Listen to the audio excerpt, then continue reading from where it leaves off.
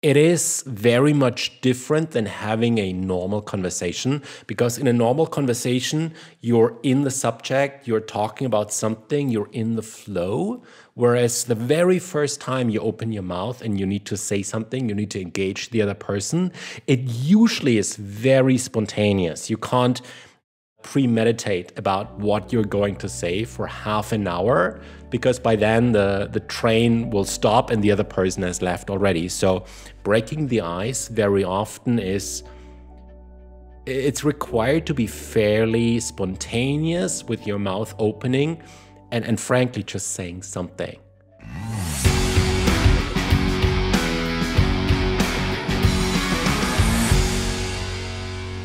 What's up, everybody, and welcome to the show today. We drop great content each and every week, and we want to make sure that you guys get notified. And in order to do that, you're going to have to smash that subscribe button and hit that notification bell. And if you've gotten a lot of value out of this, make sure you give us a like and share our videos with your friends. One of my favorite things to do when I am meeting couples who just start dating or even friends who met, asking them how they met and inevitably, they'll talk about where they met, what the interaction was, maybe who approached who. But very often, if you ask, well, what was said? What, what broke the ice? What started that conversation? They'll often not know exactly what was said or done because the ice breaking part is not that memorable. We put so much pressure on ourselves to come up with this fancy one liner. You may have found this podcast by Googling a list of icebreakers that you could memorize that would naturally make the conversation flow instantly with anyone. In actuality, this is a small moment in time of creating that relationship that is required. It's required that you actually strike up the conversation, but it's not nearly as impactful as many of us visualize or think. And I think, obviously, the way it's presented in modern media and in Hollywood that you need to have this fancy opener that makes you look like James Bond, that makes you look so smooth to get the conversation started. But many of us find ourselves in incredible relationships with no memory of what was initially said or what the weather was like that day when someone made small talk with us because it's a moment in time that creates the space for connection. So we need some simple strategies that we can use in our back pocket, but it's not about memorizing crazy lines, and it's not about standing out in a unique fashion that makes breaking the ice really effective. Well, the more you think about your approach, the more you think about engaging with people, the more difficult you've made it on yourself. And now you've set up expectations that you need to meet. Most of the people that I have met it's just been walking over and saying hello or shooting them an email saying, I'm going to be at this event too. It'd be great to meet you. And that's it. When you start to think about it, you start to think, how am I going to do this? Now you're putting together ridiculous plans in your head, and now you need to meet those ridiculous plans. I think there is this discrepancy between how people understand approaching another person and then having a conversation. And I like to liken it to jumping off the sport that you have at a pool Uh, you just jump off the board and it takes you a second, and then you swim for 10 minutes. It's not about the jumping off part, it's about the swimming part.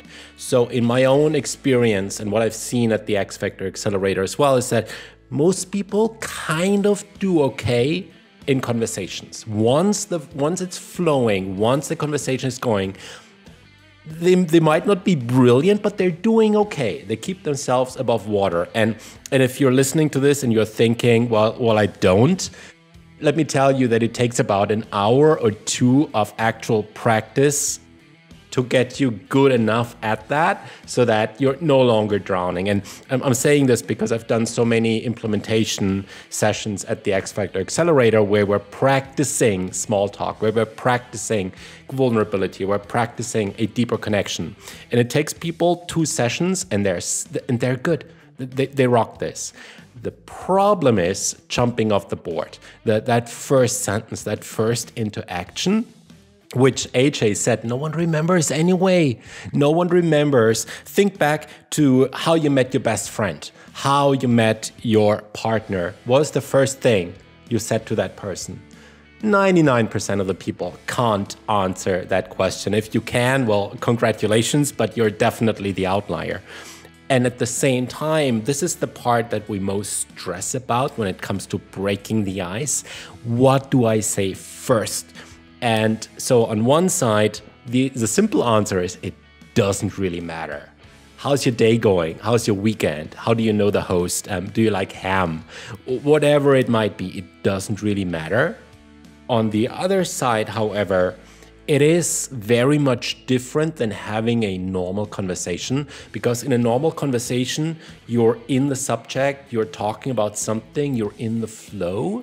Whereas the very first time you open your mouth and you need to say something, you need to engage the other person, it usually is very spontaneous. You can't premeditate about what you're going to say for half an hour because by then the, the train will stop and the other person has left already. So breaking the ice very often is it's required to be fairly spontaneous with your mouth opening and, and frankly just saying something.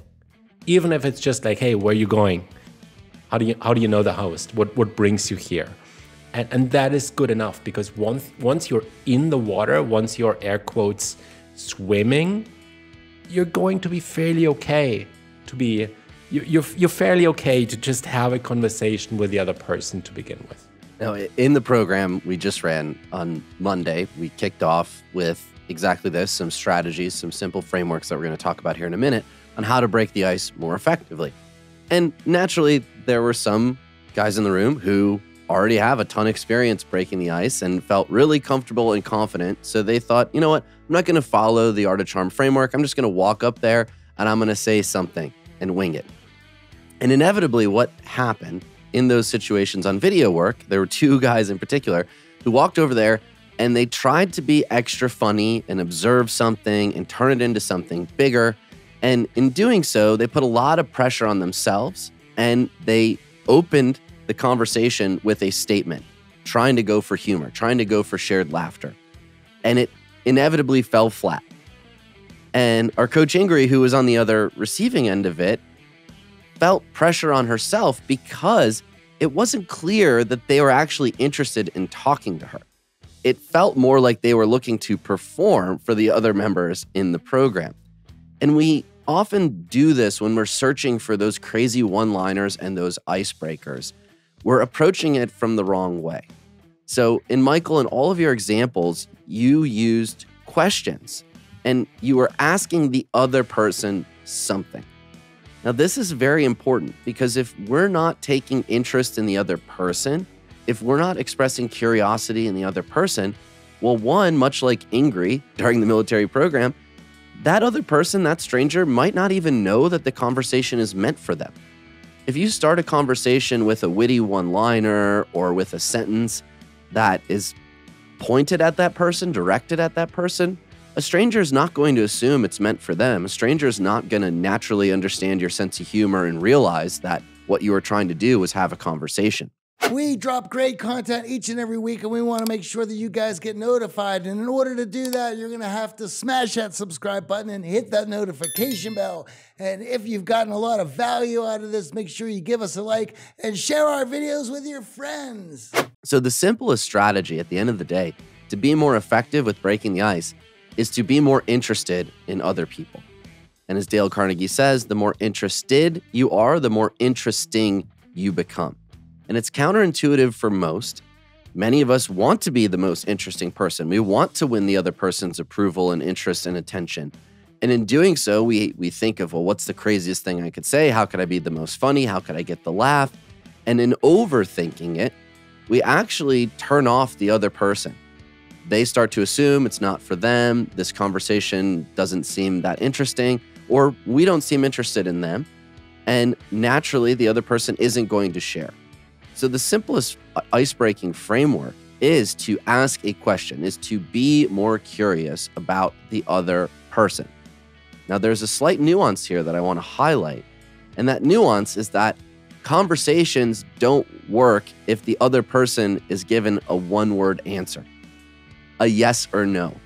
So we do want to avoid yes or no questions because naturally a yes or no question becomes a dead end. You then have to ask another question. So, do you like him? No.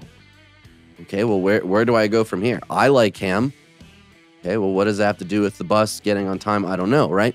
So, yes or no questions, not a great way to break the ice. Who are you here with? What are you drinking? Where are you from? How'd you find out about this meetup event? What brings you out this evening? Those are great questions that tee up a conversation for the other person and create you showcasing interest in them.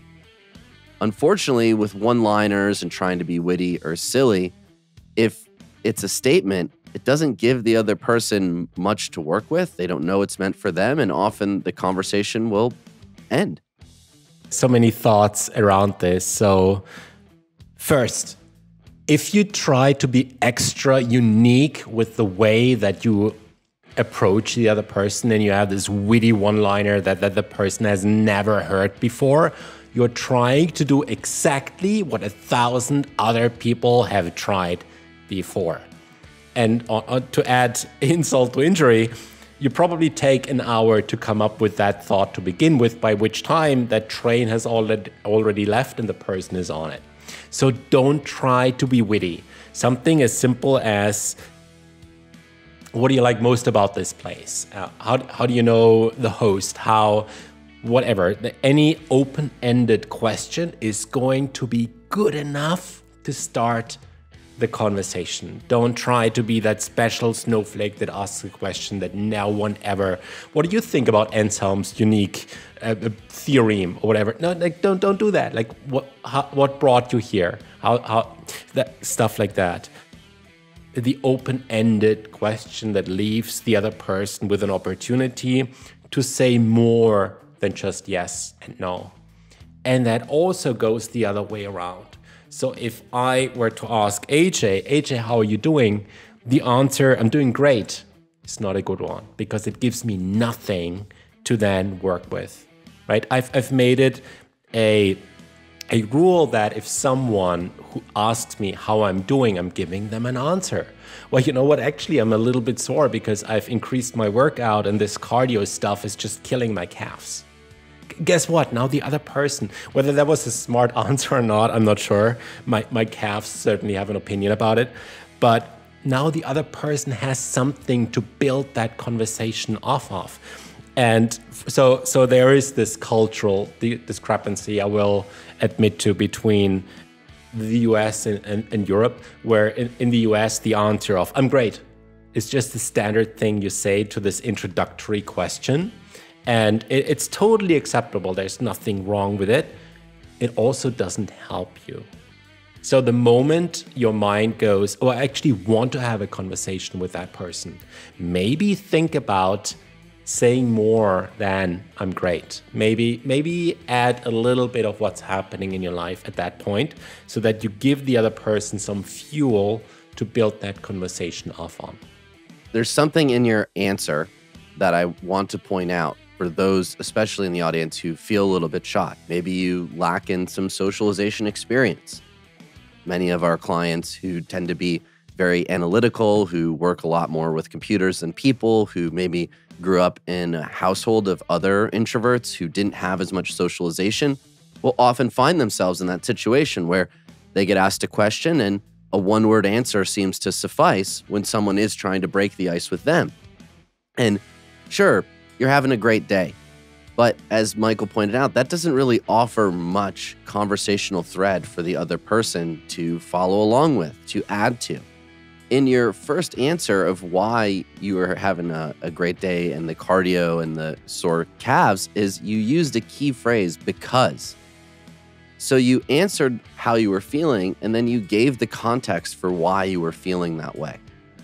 So if you find yourself in situations where small talk is dying, where you're finding yourself feeling really awkward and maybe you don't know where to take the conversation, one of the easiest strategies to make things easier on the other person who broke the ice and to open up more conversational threads is to add the phrase because dot dot dot and share why you're feeling that way. What is the context behind your response? And just by saying that, right, I could clue into the fact that Michael's doing more cardio and he's got this new workout from his New Year's resolution.